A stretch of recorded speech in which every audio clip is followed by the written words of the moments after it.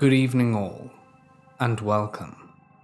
Tonight we're going to be heading into the woods for an unforgettable camping experience. We also have the pleasure of being joined by the incredibly talented Miss Fearsome, who you should definitely check out once this video is done. As is custom, link in the description as well as the end of the video. But for now, it's time to get comfortable and let the darkness take control. I went camping near Solvang, California, with just myself and my 18 pound schnoodle. It was early in the season, maybe early March, and there was no one else in the campground. The campground didn't have any hosts. It was first come, first serve, pay as you stay in a Dropbox type of place. The campground was on a slope, and there were trees, but the trees were not too thick so you could see most of the campground if you were on the upper part of the slope. Since I was alone, I picked the campground on the top right. It was a pretty remote area, so in the pitch black at night, everything was good for a few days. We went to the beach and walked, and I did a lot of droning. One day, there was this truck of about three guys that came to the campground, and they were shooting at trees and smoking weed and drinking. They saw me and was staring hard. I'm female and started to feel uncomfortable, so returned to my tent, and eventually they left. Later that night, at maybe 2 or 3 in the morning, I woke up to the sound of an engine and bright lights. I peeked out of an air vent in the top of my tent, and all I could see was a truck parked right in front of my campsite. The high beams were on, and I couldn't see anything else because it was so blinding. The truck stayed there for about 30 seconds and then all of a sudden the horn sounded. My poor dog who was barking started to whimper and then shake super hard. I don't know how long they blasted the horn for, but it felt like forever, and they were revving the engine too. Eventually, they hit the gas and came flying up the slope at the tent. I freaked out and ducked down and picked up my dog. They flew right by the tent, blaring the horn and yelling out the window. They drove by the campground, not on the road, but through all the campsites and through the grassy field area. I don't know how they missed the trees. They shot guns from the windows and did a couple of drive-bys and then drove away. Writing this out now, it doesn't seem very scary, but it was terrifying at the time. I didn't know if they were going to come in and kill me or rape me. I didn't know if I was going to get run over or anything. The next morning, I left. When I was about eight years old, I was taking my dog for a walk through the neighbourhood with my mum, and it was around 11 pm. We live next to a swampy, wooded area on the edge of our neighbourhood in Lansing, Michigan, and I remembered it being very silent and slightly windy, and from down in the swamp we heard somebody whistling at us. It sounded sort of like a bird, but each whistle was different enough where the lack of consistency made it human like. The whistle sounded higher, then lower. I can't really describe it. My mum had a concerned, slightly terrified look on her face, grabbed my hand, and said that we should go inside quickly. I didn't understand because I was too young, but seeing my mum freak out made me freak out too. But after a while, though, I kind of forgot about it. Two years later, I was taking my dog out again, and it was late at night. Now, there is a large bush that could easily obscure a person behind it, just next to the front door. And as I was finishing the walk, the whistling noise started up again. Same pitches and same inconsistent, human like tones. As soon as I heard it, a chill went down my spine, as I remembered exactly the feeling of seeing my mum terrified. Looking down into the swamp at something I couldn't see, and maybe she couldn't see either, I ran inside as fast as possible. Years went by, and I thought about it less and less. I've also only told a handful of people, and eventually it slipped from my mind. Then fast forward to last summer. I'm 24 now and have started dating my girl Sarah. We moved out to South Dakota for work and for Independence Day, and we decided to go to Pierre, South Dakota, and watch the fireworks along the bank of the Missouri River. There was a free camping spot behind a hospital where you could pitch your tent, hang out, and see the fireworks up the river. We were near the end of the campground, and there were very few people around us, and as it was getting dark, the fireworks began. They were pretty far away, so the illumination they brought was very little, so we had to sit right at the edge of the river to be able to see them better. A huge thunderhead was moving in, and a storm was imminent, so the air seemed electric and the wind was picking up. The atmosphere was eerie, to say the least. The police boats herded all the other boats off of the river and had left our area to do that elsewhere. Most of the other campers walked up the river to have a better view of the fireworks, but Sarah and I stayed back and were drinking PBR tallboys and kicking it.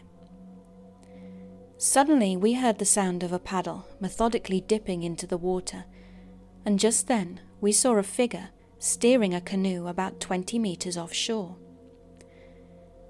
Sarah decided to go get more beers from the car, leaving me alone to stare at this mystery person, when suddenly, of course, they whistled at me.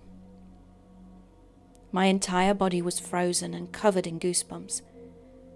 It was the exact same whistler from my childhood more than a decade earlier. I looked at the figure, but it was much too dark to discern who it could be. They were wearing a hat and when they were perpendicular to the shore from me, they stopped paddling, turned the canoe to face directly at me, and whistled right in my direction. I was so frightened I stood up and shouted at them, Who are you? But they didn't say anything. They just whistled a couple more times, turned the canoe 180 degrees, and paddled out of sight. Now I'm a videographer so I already had my camera by my side and was taking video of the fireworks. As the canoe was almost out of sight, I grabbed my camera and got a shot of them whistling as they went away. When Sarah came back from getting beers, she was very confused as to why I was so freaked out. When I explained, she was freaked out a bit too, and I was convinced we would both be murdered that night. How did this whistling person follow me after 14 years, all the way to South Dakota? Was it a coincidence? Why was it the same whistling noise? Who was that person and where did they go? So many questions still unanswered, and to this day I'm more afraid of being outside in the dark where I might hear that whistling again. I'm open to any explanations. I'm a 15 year old living in Sweden. Last summer, me and my dad visited an island located in a very large lake. The island is about 5 kilometers long, and at one of the ends, there's a ferry connecting the island to a mainland with a smaller town. Me and my dad were going to go camping at a spot on the opposite side of the island. The roads there go up and down quite a lot, so it was hard biking all the way, and about halfway through, the roads turned to gravel roads. No one lived this far away from the small town as far as I knew. We arrived at the camping site, made food, put our tents up, and went to sleep. I can clearly remember putting the cooking utensils back in the bag before going to bed. There was a very light rainfall that night, but we slept well. Waking up in the morning, we saw that our bag with cooking stuff was opened up, and someone had clearly gone through it, and there were footprints after boots in the wet dirt. After a bit of arguing, we both agreed that none of us were up that night peeing, and I packed the cooking things. Just to clarify, our bag with cooking stuff was outside the tent under a little built in roof, probably made for putting bags under, while our bags and sleeping stuff were inside the tent. We both were really spooked after this, and ate something simple and went back to town quickly which wasn't very fast since the roads were really hard to travel on by bike. Who the hell was that? And what were their intentions? We didn't stick around to find out. When we were teenagers, my cousin and I were thick as thieves. Ryan, Rory, and I always hung out with each other be it on camping trips, day swimming at the lake, or just at parties. Summer rolled around and we decided that we would go camping out in the forest on the Fort Apache reservation. This was beginning to become a yearly tradition. Last year we had gone camping in the foothills of the San Carlos reservation, and it was a blast. I was actually sad to return home when it was over. We finalized our plans and decided to pack Rory's pickup so we could leave early the next morning. We'd packed enough supplies for three days and enough beer for ten. We set off from our home around eight in the morning and parked the pickup in a trail car park. We were all excited for the day ahead and especially for the night of partying. We trekked through the lush green forest, and although it was as such, there didn't seem to be many animals and birds around. The further we walked, the thicker and darker the forest became, and at dusk we decided to make camp in a clearing that was right next to the trail. We set up our tent, made a fire, and cracked open some beers before it was fully dark. Ryan played some music on his portable boombox, and we drank and danced around the fire. At 1 a.m., we all decided that since this was the first night, we should take it easy and get to bed early. We had miles and miles to trek the next day, and it would be torture doing it that tired and hungover. As soon as Ryan turned off his boombox, it struck me how silent the forest was that night. The cicadas and birds usually make some noise after dark, but this night was dead silent. The only sound that we could hear was the light breeze blowing through the trees, and a few minutes later, as we were cleaning up the mess, the bushes surrounding the clearing began to rustle. We all turned to face this noise, fearing the worst, fearing that it could be a black bear. We were prepared for this. Rory had brought his handgun to fend off any unfriendly wildlife. But it was not a bear that emerged from the bushes, but an Indian forest ranger. He looked to be in his mid forties and was tightly clutching a shotgun covered in ashes, to his chest. You kids shouldn't be out here. This forest is not safe at night, he exclaimed. We came prepared, Rory joked as he waved his Colt around carelessly. The forest ranger pleaded. At first light, you should pack your things and go home. This forest, people go missing all the time with no trace. Please, just go home. The ranger stared at us for a second after that then turned and went back into the bushes. He vigilantly scanned his surroundings as he went, and shortly after the forest ranger left, there was a vile smell on the wind.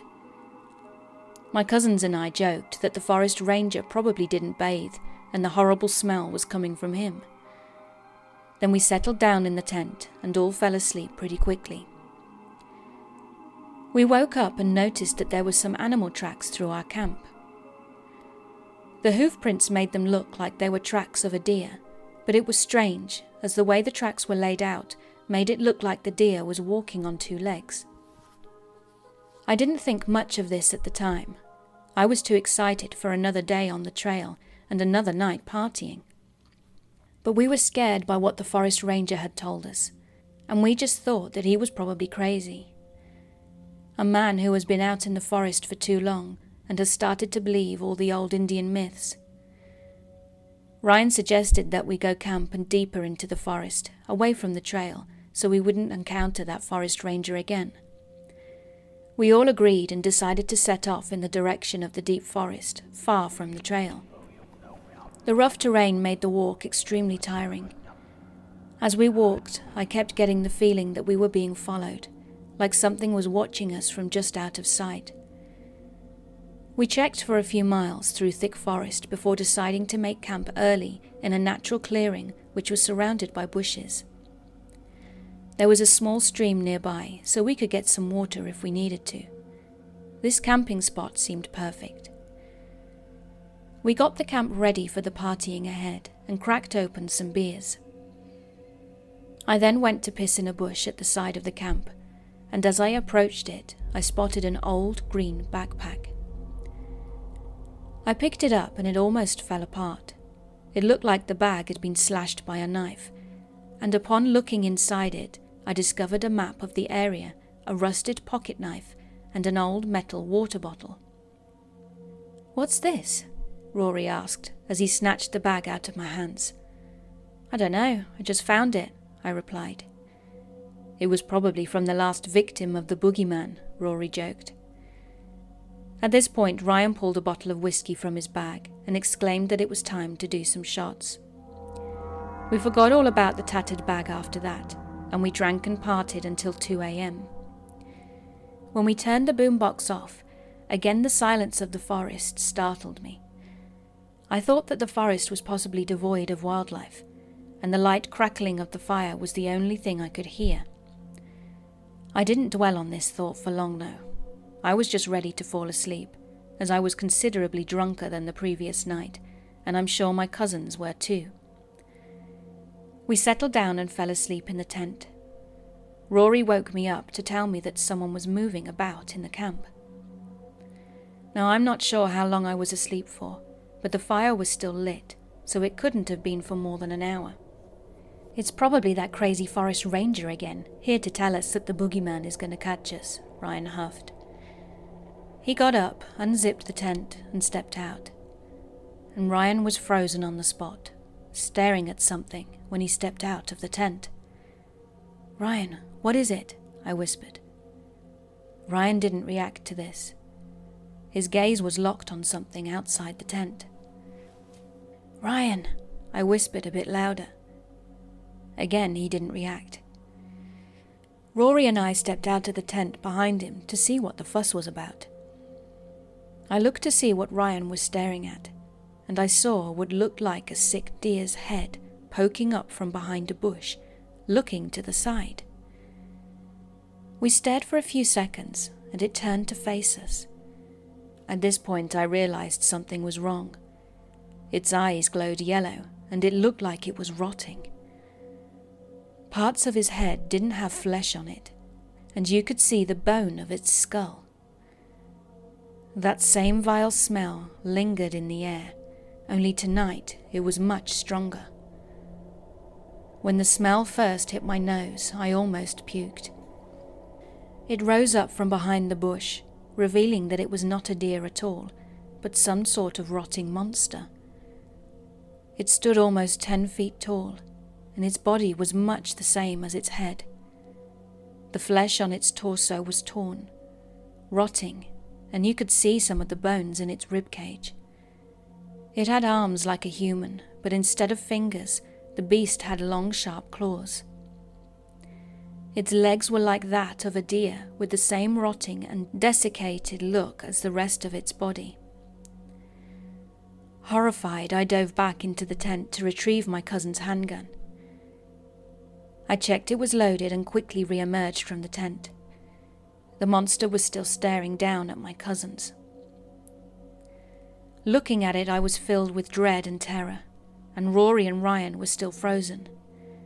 I raised the gun and pointed it at the monster, my hands trembling so bad to the point it was hard to target it, even though it was standing still. The monster took one step forward, as if it was going to charge at us, and I attempted to pull the trigger, but it was stuck. I knew the gun was in good condition. Rory always took care of his guns. But the monster didn't charge us. It was as if he was toying with us. It could clearly see how terrified we were when I heard a twig snap loudly behind us. I swung my head round to see another one of these monsters, just as rotten and terrifying as the first one. It made an ear piercing shriek and pounced on Ryan, cutting his chest as it landed on top of him. Ryan was screaming and bleeding very badly, and I tried to shoot the gun at the thing on top of Ryan, but again nothing happened. Not knowing what to do, I threw the gun at the monster, hitting it on the head, but it was not fazed. It was still over my cousin, tearing him limb from limb. Rory and I ran into the pitch black forest, fearing for our lives. The creature shrieked again, and this shriek was like nothing I've ever heard. It filled me with pure terror, and I couldn't think straight because of it. I just ran, I didn't even have shoes on my feet, and they were getting cut up pretty badly by sharp rocks. We ran through the trees for what seemed like hours, but couldn't have been more than ten minutes. We found an uprooted tree and hid in the hole where the roots were pulled out. After we got in the hole and caught my breath, Rory looked at me. Can you smell that? he whispered. Those were the words he said before his chest was pierced by the long, thin claws. Blood poured out of his mouth, and he looked at me with a confused expression as he was pulled into the darkness. I got up and ran as fast as I could, ignoring the pain from my shredded feet. I could hear his screams as I ran away, and I ran for miles until I came across a road. Luckily for me, a truck was driving down the road, and I ran out in front of it, and it skidded to a stop. Let me in, I screamed frantically. The man opened the passenger door and shot a strange look at me. What the hell are you doing out in the forest at this time? he inquired. I didn't answer. I just jumped in the truck and slammed the door shut, and as we drove away, I looked back at the forest to see two sets of glowing eyes staring at me from the darkness. I told the sheriff this story when I reported my cousins were missing. He told me I was crazy, and I wish I was. But I wish I could unsee those vile creatures or write them off as a hallucination. More than ten years have passed since I lost my cousins, and I have never returned to that forest or any forest again.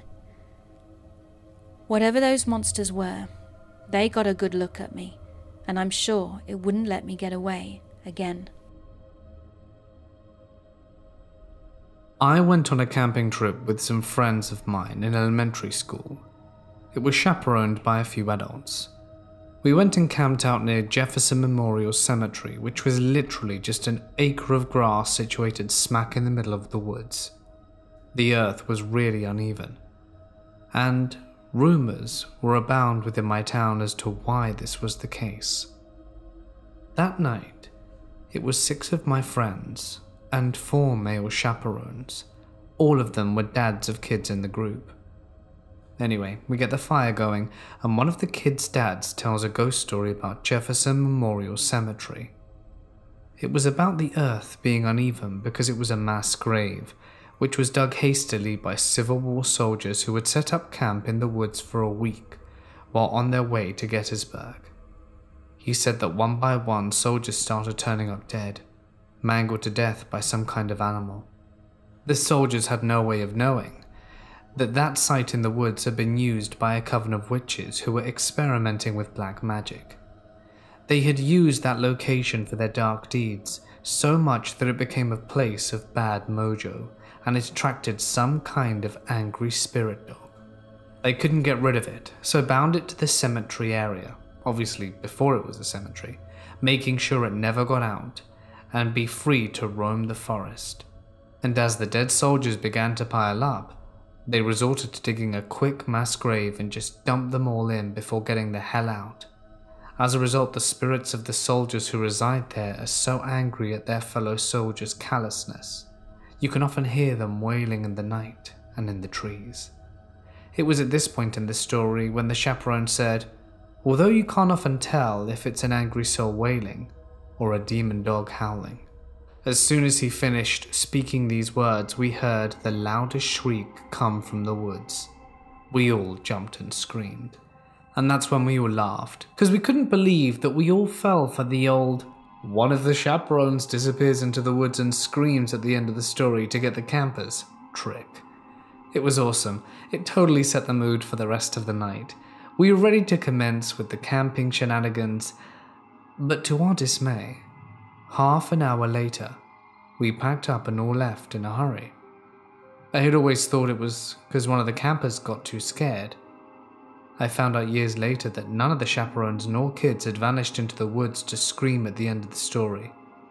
We left because the adults genuinely had no clue who or what was in the woods that night, screaming at us. So I live on the coast of Northern California. My street lies in a small valley with a thick wooded redwood forest on either side. I recently moved back in with my parents to save money on rent while my classes are online, and our house sits at the front of the forest. Many properties on my street extend into the woods, and my family owns about five acres. A couple of minutes' walk past our backyard, and you will get to a gorgeous maple grove with a clearing, a fire pit, and some chairs.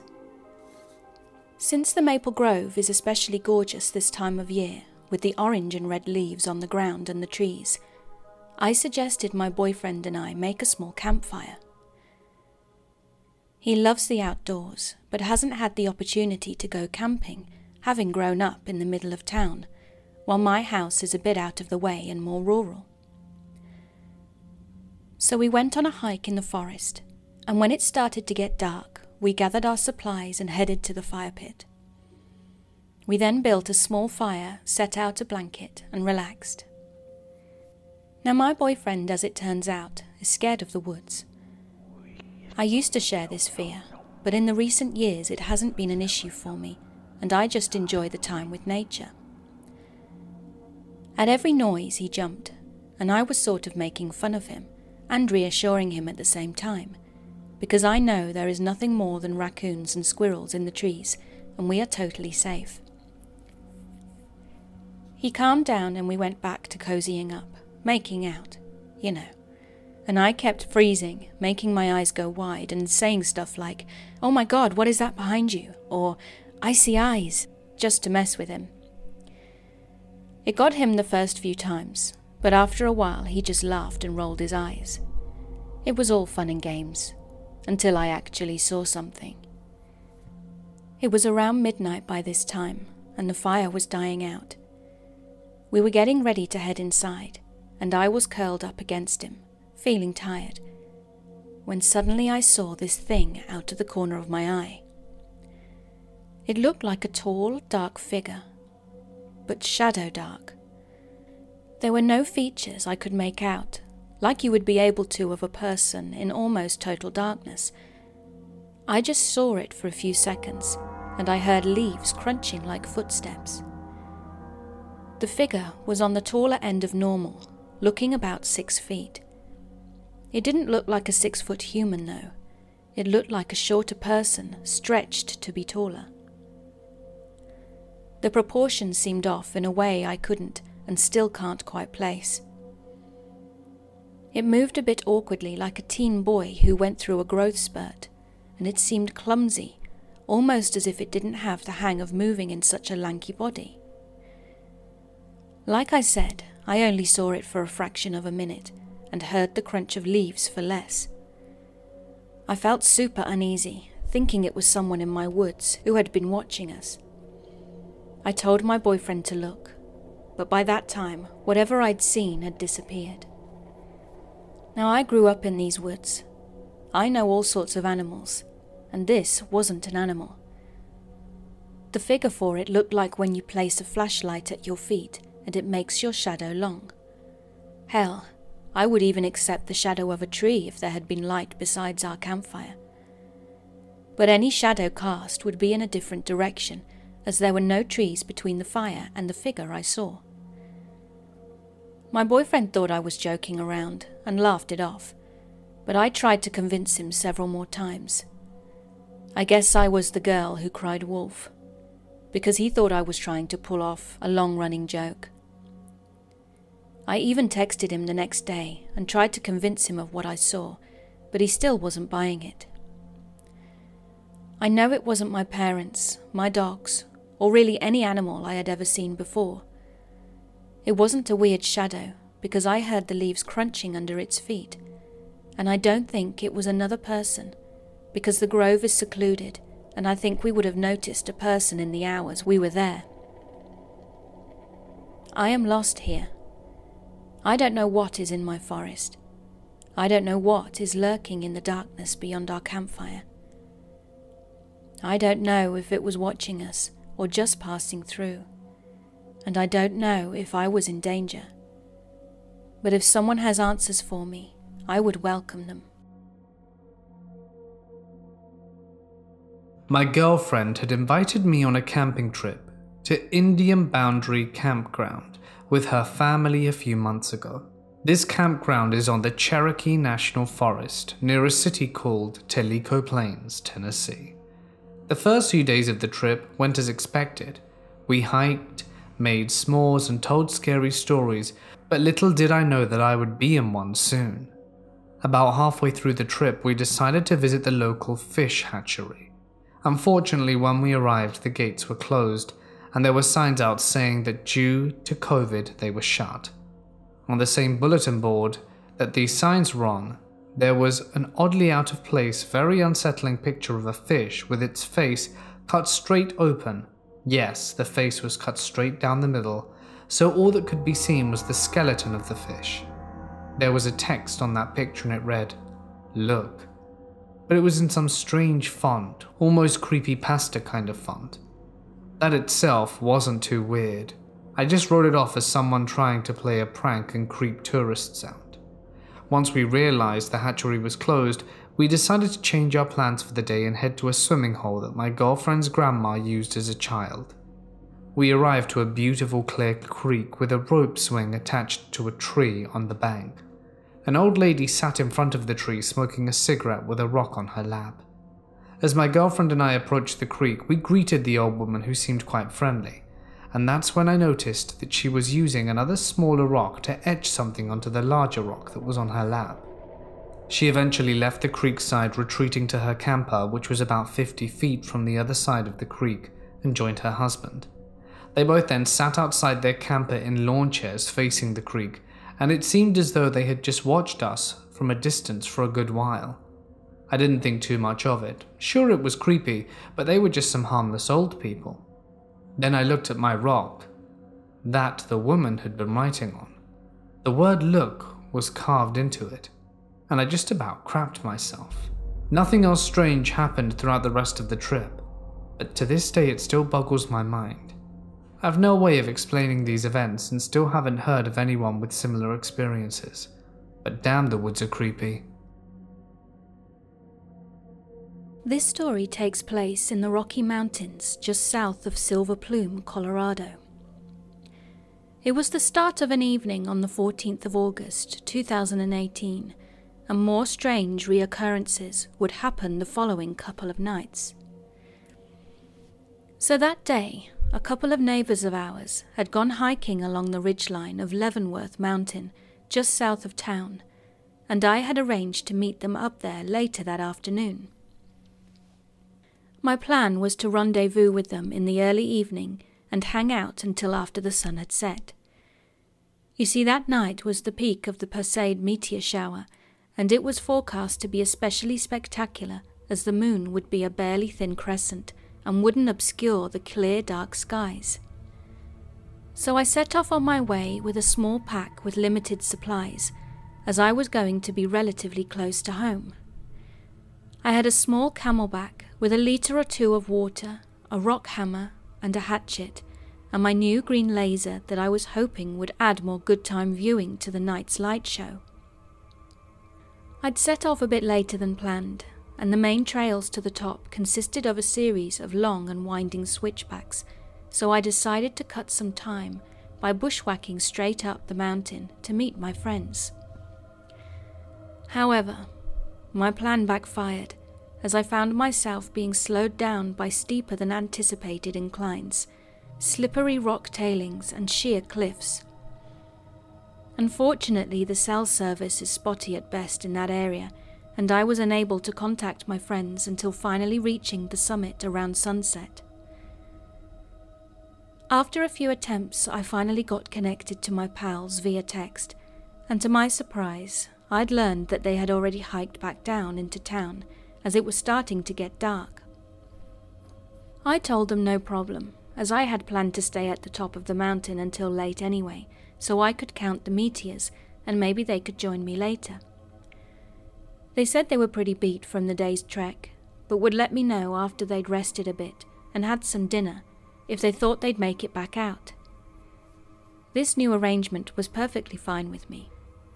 Being the consummate night owl, and having lived in this area for five plus years, most of my excursions into the mountains tended to be nocturnal, and I'd spent many a night, some planned, some not, getting along just fine in these precarious mountains, and usually had very little anxieties in doing so. So, in this manner, I made my way down the ridge line of Leavenworth to a locally known camping area, Pavilion Point, which from its high vantage point overlooked both Silver Plume and the neighbouring town of Georgetown. In between the two small towns, approximately two to three miles apart, was an old railroad attraction called the Georgetown Loop. I should also mention now that at this time there was a strict fire ban in effect, and that this summer was probably the driest I'd experienced since moving to Colorado back in 2013. There were also several wildfires wreaking havoc in the state, requiring all available emergency resources, and failing to adhere to the fire ban was taken very seriously with fines ranging in the thousands of dollars. But that being said, I hadn't planned on having a campfire for the obvious reasons. After settling into a comfortable spot near Pavilion Point, I kicked back and started counting the fireballs. By 9 or 10 pm, my friend let me know they wouldn't be making it back up the mountain and to enjoy the show, and that maybe he would join me the following night. Over the next hour or two, I had counted close to 100 meteors, ranging from quick zips to bright fireballs that would leave these awesome streaks that temporarily froze in the skyline. I was having a blast, and as the novelty was finally starting to wear off, I began hearing some faint noises and rustling about in the darkness of the surrounding woods. I wasn't worried much yet, and was used to hearing all kinds of strange sounds, and knew it was probably nothing more than some deer or a porcupine at worst. But after a few minutes, and as the rustling seemed to be moving closer, paranoia got a hold of me, and I decided to take some action. Typically, during similar late night adventures, I would just build a small campfire to scare away any critters and add some comforting proximity light to the area. But as previously stated, fires, no matter how well contained, were strictly prohibited. Besides, the fact that I could possibly be sighted and fined, I was more worried about actually causing a wildfire, which I would never be able to forgive myself if somehow responsible for destroying the surrounding woods, which I had now considered home. That's when I remembered that in my backpack I had that powerful green laser. I wrestled around the pack in the dark for a few moments, and I kicked myself for not remembering I had brought it, thinking now maybe it could scare off animals. Glad to have found it in hand, I started aiming into the dark woods and bushes where I had heard noises. I felt more at ease for a moment until the laser hit the eyes of some forest creature in some nearby bushes the eyes reflecting the laser like what you'd see driving a late night dark highway, the deer in the headlights effect. Whatever it was, likely a fox, it hopped, screeched, and disappeared into the darkness. I also had with me a small dim headlamp which had remained off the entirety of the night to help keep my natural light vision. I quickly shined it around, but it was pretty much useless in illuminating anything further than a dozen or so feet. A bit startled at this point, but not wanting to head down the mountain just yet, I decided to go against reason and proceeded to build a tiny fire pit using the stones around me until I had a foot and a half circular pit constructed with a large flat rock to cover the top that I figured would definitely contain all burning embers and hopefully any light that might be looking to escape. I also stationed my CamelBak next to it to douse the flames if need be. Still, probably the smallest campfire I've ever made, the swaldering twig pile literally the size of my hand still immediately put me at ease. That feeling was unfortunately short lived, and after a few minutes I was feeling guilty about breaking the rules and possibly putting the area in danger with my small fire. But instead of putting it out, I decided it'd be best to have a quick scout around the area to see if I could spot any signs of a possible patrolling forest ranger or nearby campers, even though in my previous five years hanging around here, I had never seen a single soul in this area at night. Deciding it couldn't hurt, I made my way over to a scenic overlook which loomed a thousand feet or more directly over the Georgetown Loop railroad area, with Silver Plume dimly illuminated to the west and Georgetown to the east. I scanned the surrounding woods, looking for any signs of life, and saw nothing unusual. As my fears of breaking the law or of sparking a natural disaster subsided, I eased back and continued messing around with the laser, wielding it like a lightsaber and tracing the lines of meteors that were still zipping overhead. As midnight approached, I guess I'd had my fill of shooting stars for one night and decided to take one last look around for fire snitches. As I went over and peered down towards the railroad near the base of the mountain, I noticed what looked like a singular light pop on which quickly turned into two lights, which to my stunned dismay appeared to be heading up in my direction. I was immediately taken aback by the sight of any lights in that area, being that the railroad was closed and didn't allow camping on the premises. The two lights appeared impossibly to be moving straight up the mountain and directly towards me. The preceding incline between myself and the railroad was luckily made up of dense forest with steep, jagged cliffs, and without a doubt had no roads or trails that would lead straight up to the mountain.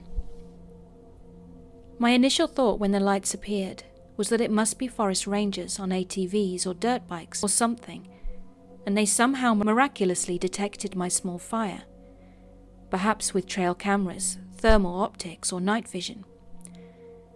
I was baffled that there were two separate lights, as I had knowledge that we had only one Forest Service employee that oversaw this entire geological quadrangle, and it was highly unlikely, rather inconceivable, that they would be on any kind of watch or patrol that night, much less two of them.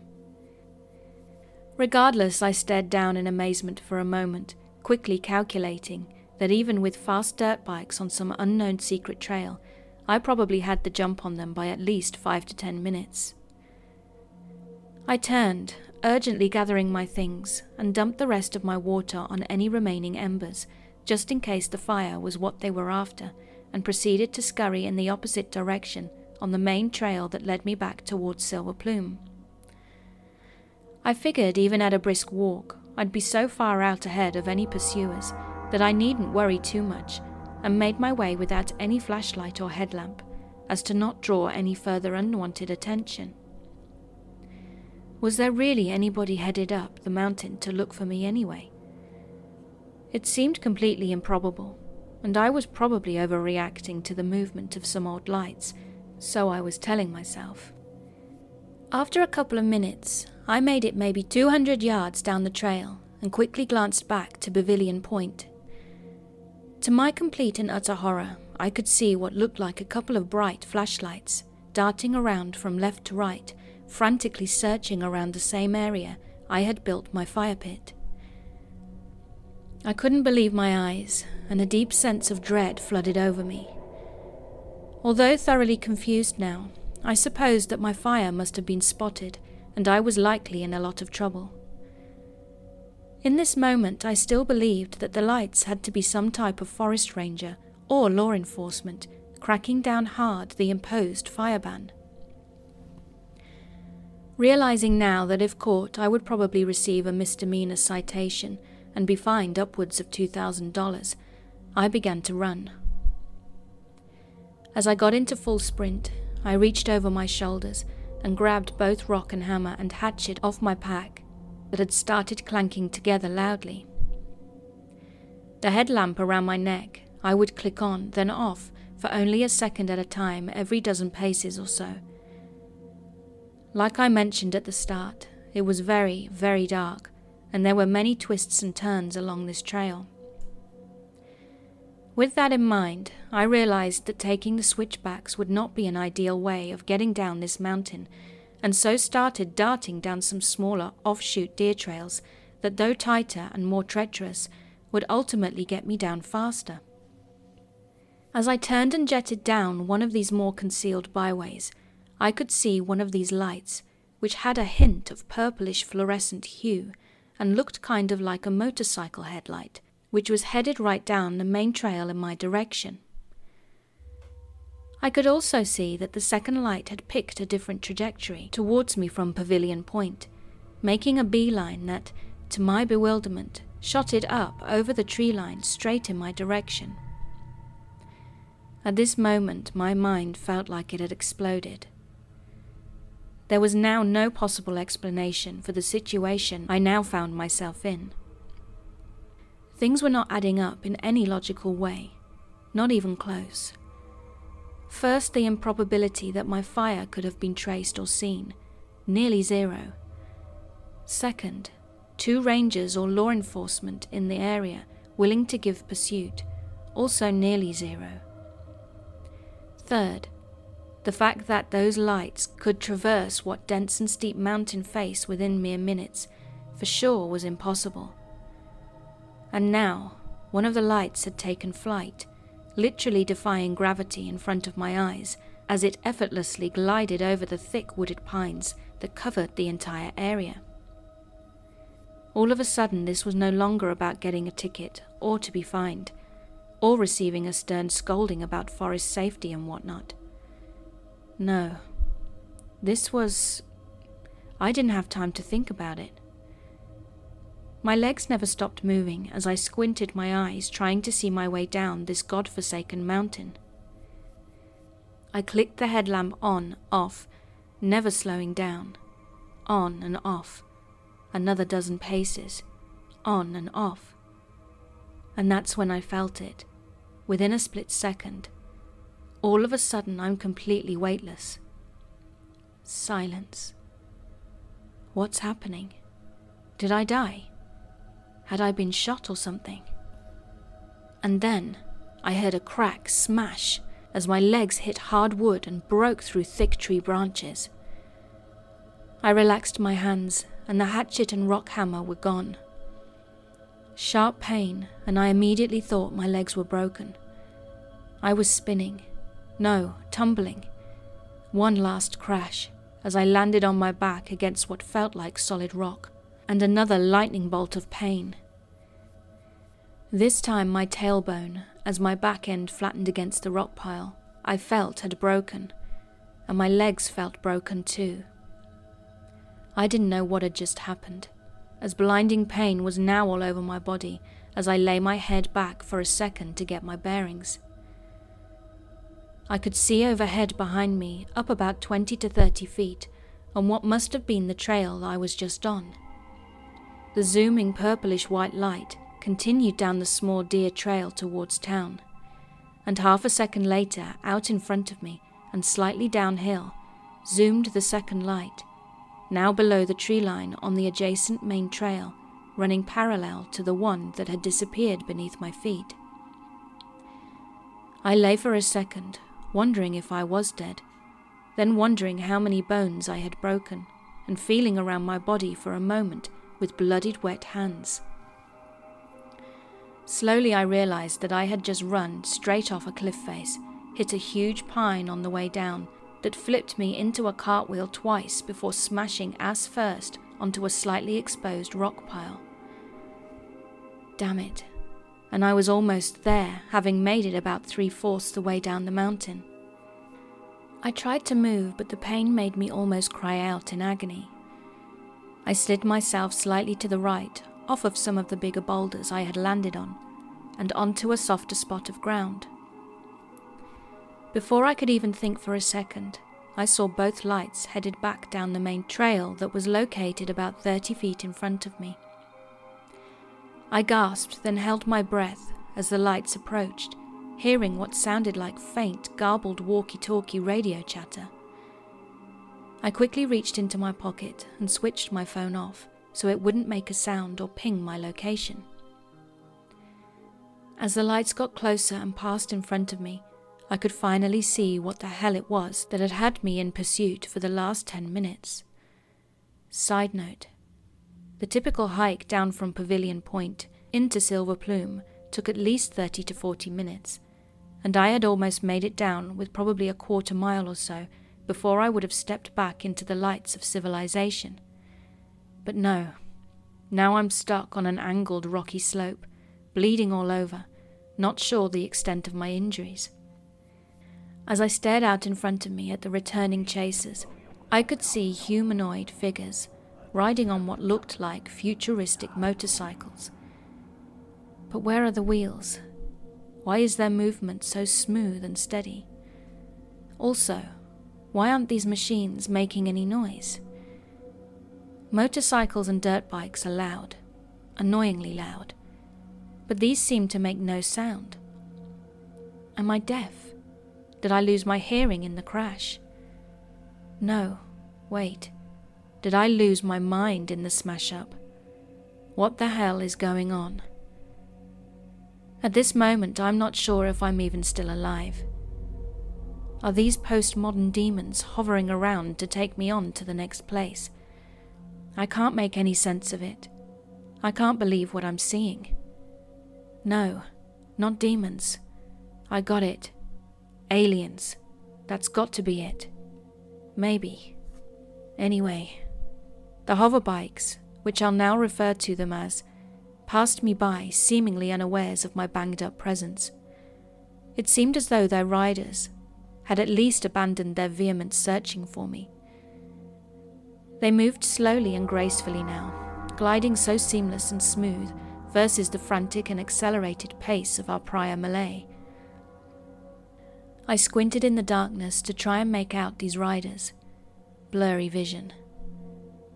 They appeared to be wearing what looked like all white or greyish attire, head to toe, and I hear more faint radio garble, but can't make out the sounds. Is it English? Foreign? Is it even a language? I don't know. I exhaled my breath, which I'd been holding for God knows how long, and tried to calm down for a second. A few moments passed, I think. I don't know how long, as I just lay there trying to breathe. What the hell just happened? And what the hell are those things? Who are those people?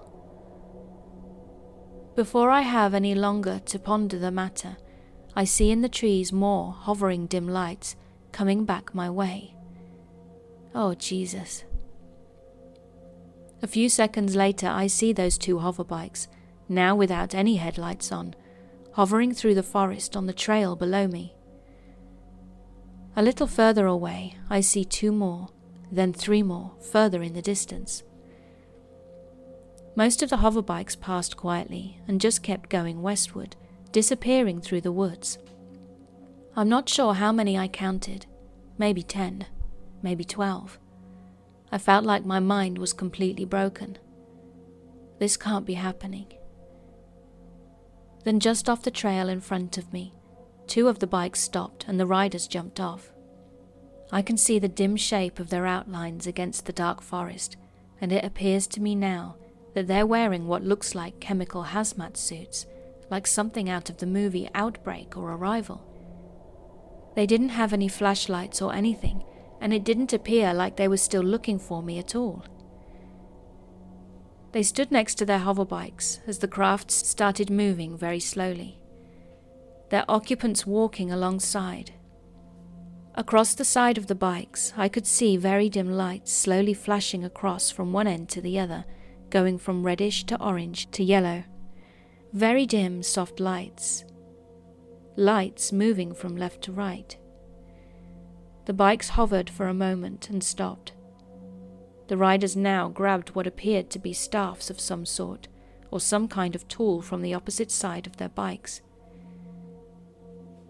They both took a few steps from the hover bikes, bent over, and started stabbing at the ground.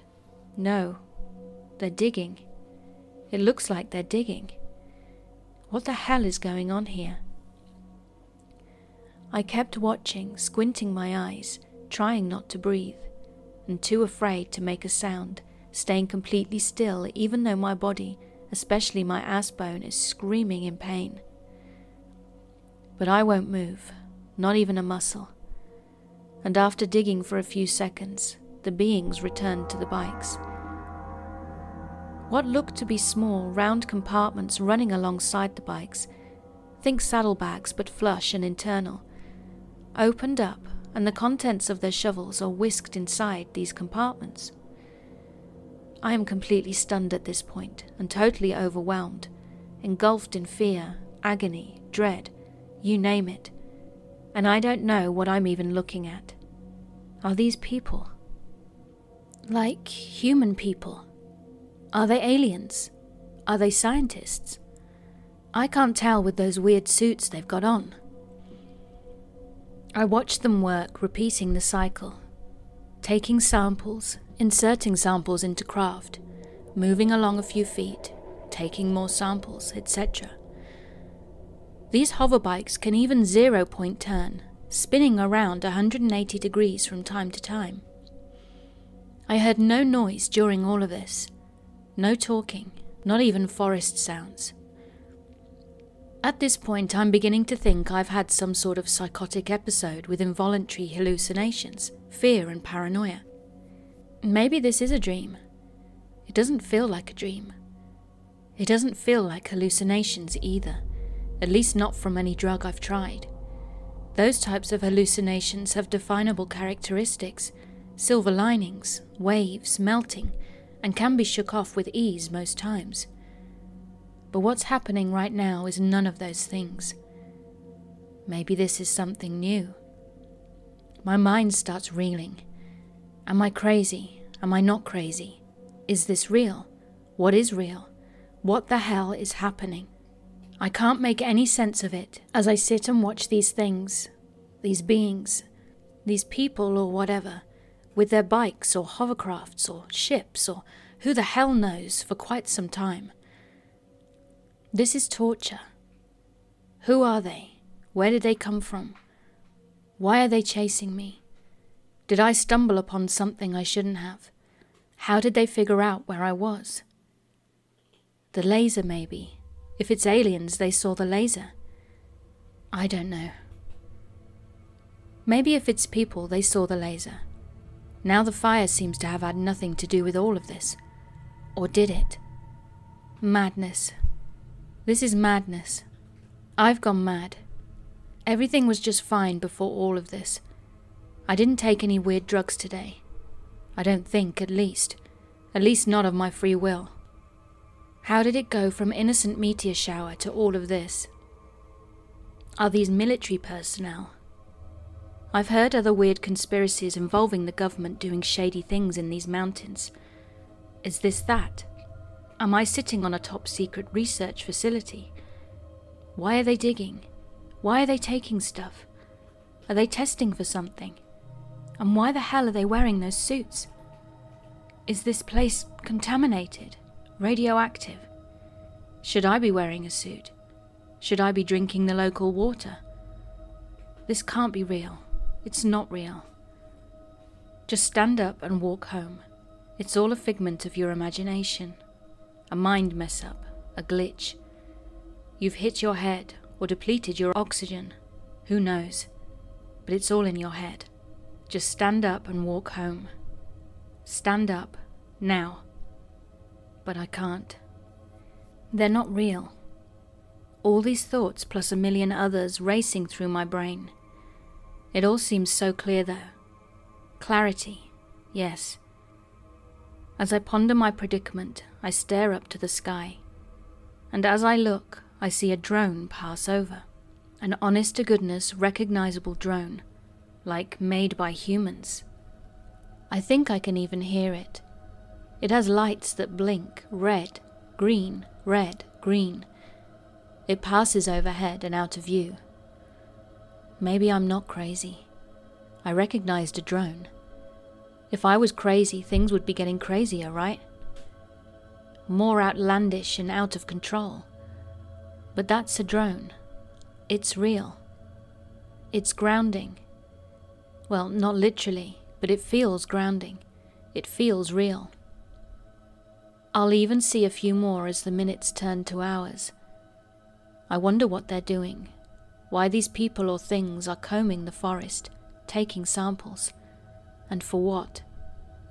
As the hours pass by, I witness their workings, and I still feel crazy. I keep trying to convince myself that this is all a hallucination and that I can just go home whenever I want. Just stand up, walk through these people, these hoverbikes and drones. Just walk by, wave, and say goodnight. It's simple. This isn't real.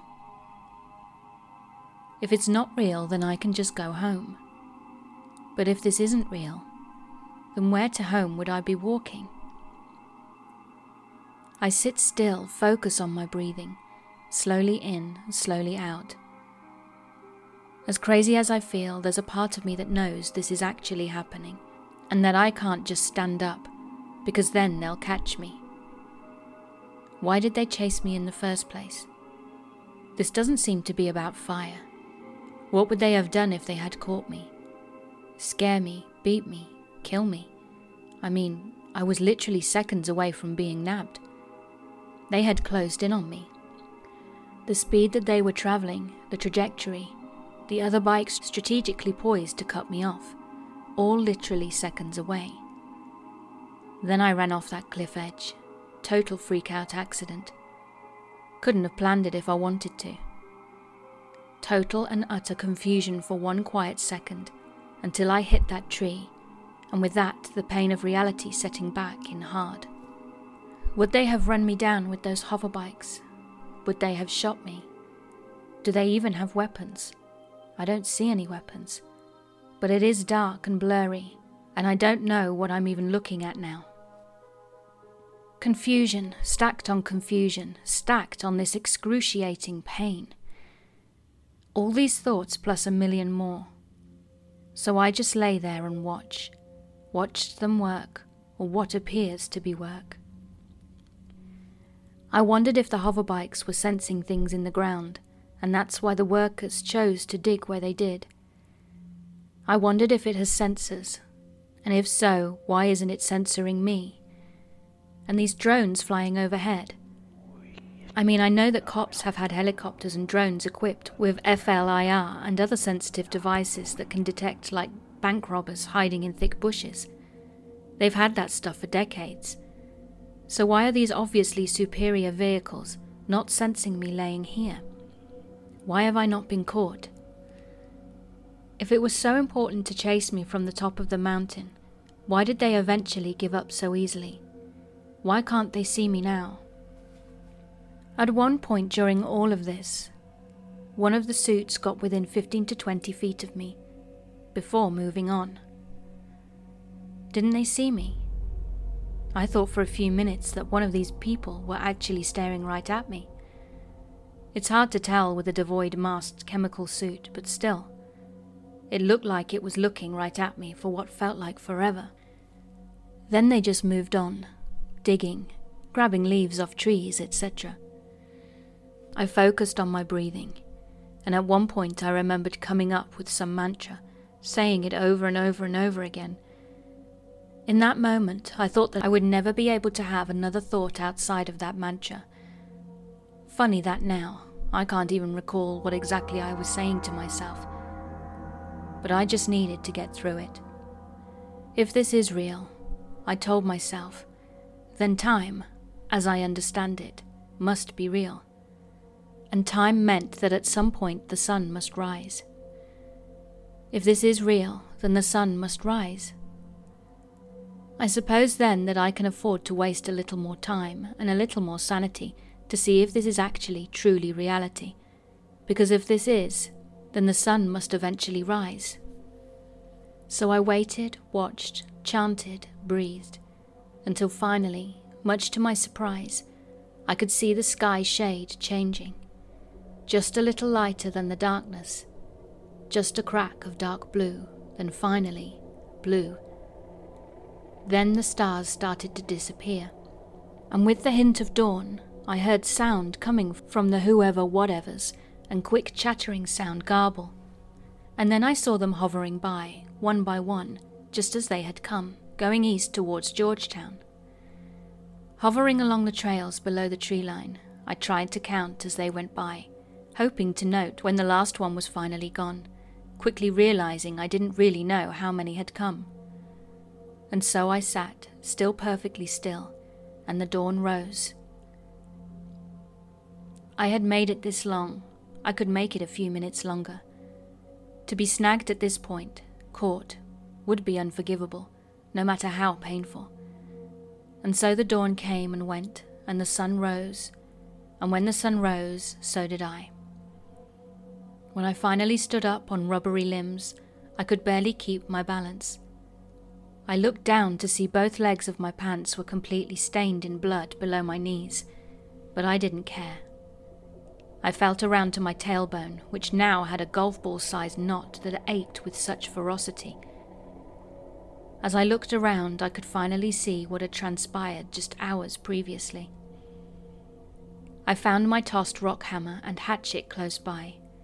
Finally, I climbed back up to the shortcut deer trail that I had run off of, saw the tree that I had clipped, missing huge broken branches at knee level. I looked around the area where I had landed at large, sharp, protruding boulders and other broken branches with points that would have impaled me if I hadn't landed on the rocks exactly where I did. Holy crap, I should be dead. I gathered my things and started limping home with mind still confused and reeling, but alive, no doubt.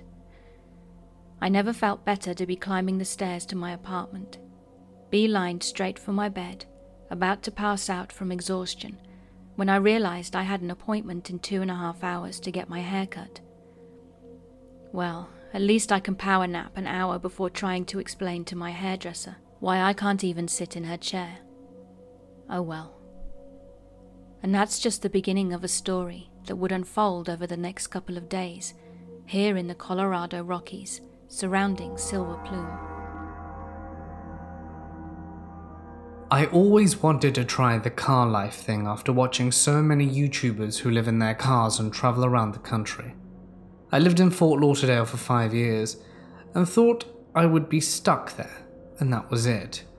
Then the pandemic hit, and when I checked my bank account, I was paid back thousands of dollars. Before I knew it, I was packing up all my stuff, and the landlord said I could leave all my furniture, and that was fine. I'm now on the 95 heading north laughing and actually leaving, and I couldn't believe it. I managed to get a hang of the whole car life thing and became more comfortable with stealth parking in different places and not being detected. I hadn't done any off the grid stuff yet, but was more comfortable by the time I reached Lake Tahoe. I was hiking and asked some guy with his dog if he knew a place where I could sleep in my car, because Tahoe seemed tricky. He said there was a place up in the mountains called Hope Valley. It sounded good, so I went. Lake Tahoe is already very high in altitude, so this was a few thousand feet higher than that. It was this past July. As I reached the area, I saw a small parking lot that was an entrance to a wildlife nature preserve. It was closed and empty, so that would do. I'm all settled in with my blankets, and the sun is setting, and the temperature plummets. Before I know it, it's pitch black and visibility is zero. I start to hear wolves howling, and at this point I'm game. This was the experience I wanted. It was a little creepy, but I was fine. I was living what I normally would be watching on my YouTube in my apartment before the sun went down, and then I noticed the garbage cans that were filled over 15 feet from the car at the entrance to the preserve. I finally drifted off to sleep and was awoken by something around 3 am. You couldn't see anything anywhere, it was so dark, and then I heard heavy footsteps right outside my door. At this point, I'm crapping myself. Then something brushes up against the car, and I'm scared and don't know what to do. I wait for a few minutes, then I open the door, run around the car as fast as I could, and got in the driver's side. I drove down the mountain and slept in a Motel 7 parking lot like a baby. Never made it through my first and only off grid car camping adventure, and I won't forget it. The only other time that trip that something creepy happened was in Mount Shasta. I drove halfway up the mountain, parked on the side of the road, and got out and started walking in this trail. I made it about 70 yards and heard a low growl. I've never run so hard back to my car in my life. But the rest of the trip was the best hiking I've ever done in Montana. So I went on my first camping trip this past Monday and Tuesday with my sister in law. Monday was setting up camp, then Tuesday was packing up camp, hiking, then heading home. We were camping in the Cumberland Gap area of Virginia, so we were very close to the border of Tennessee. Now, while I have never gone camping, I've read a lot about animals growing up, and I am able to identify what sounds they make pretty easily and I can identify their tracks and droppings.